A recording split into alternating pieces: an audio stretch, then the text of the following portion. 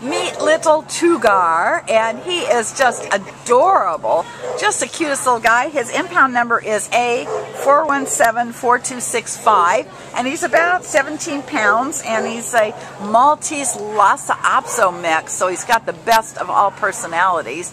Um, and uh, he was an owner surrender. They said they didn't want the responsibility for him anymore, and he came in and, and they said he's about 13, uh, someone did at some point because that's what it says on his uh, kennel card.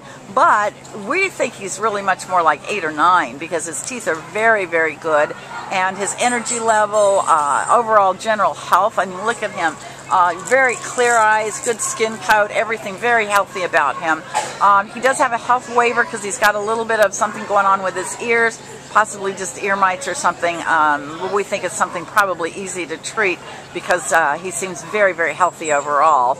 And he's a love bug. He came right up to me and just wanted to sit in my lap. And as you can see, he is quite comfortable in Mary's lap and he also loves to go up to other dogs and play. He's a little unsure of big dogs uh, if they kind of run up to him a little too quickly, but uh, again, he loves to meet other dogs. He has this great personality, so we think he would be a, a wonderful go anywhere, you know, do anything with you kind of dog. He's a great, perfect size at 17 pounds, so he could be your car buddy, he can be your lap buddy, your office buddy, whatever you want.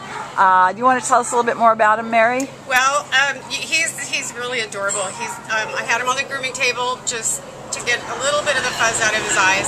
He's yeah. been groomed a lot. You can tell he's stood there like a little statue. And um, he's my guess is that he's he's probably got a long flowing coat. It looks like he had been groomed. He's just starting to grow out has his summer cut. But um, so my guess is he's probably got long, pretty hair, and he's got the kind of coat that's a hyperallergenic coat. Um, no shedding, so he'd be perfect for a uh, person with allergies. He's got so much energy. He's been bouncing around here like crazy, and he loves to get kisses. Aww. So we just think he's a, he's a great dog. He needs to get out of here. He shouldn't be here. No, he shouldn't, and I, he'd probably be great with a family. Uh, you know, anyone who really wants to spend time with this little guy who has so much love to give.